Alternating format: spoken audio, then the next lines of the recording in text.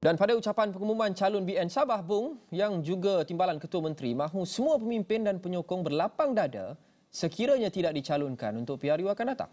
Malah beliau mahu semua pihak untuk membantu satu sama lain sekaligus membawa kemenangan kepada GRS dan BN. Selaku ketua saya sedar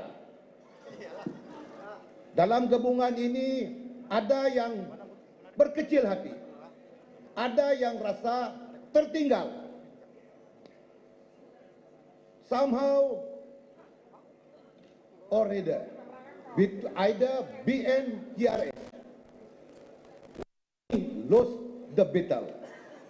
But together, BN and GRS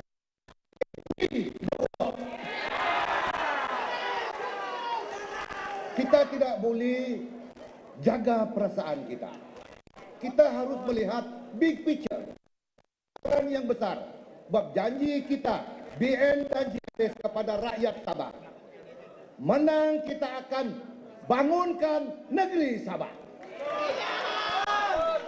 Saya paham sebab setiap pemimpin itu ada cita-cita, ada hasrat. Tetapi calon ini pertama datangnya dari Allah.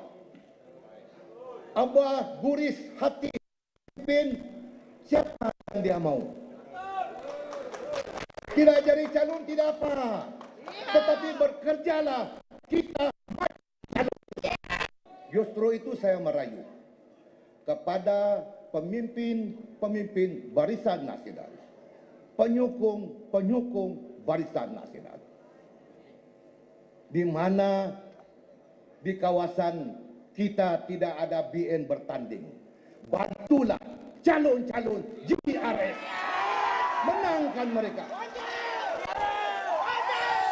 demikian juga dengan penyokong-penyokong pimpin-pimpin GRS.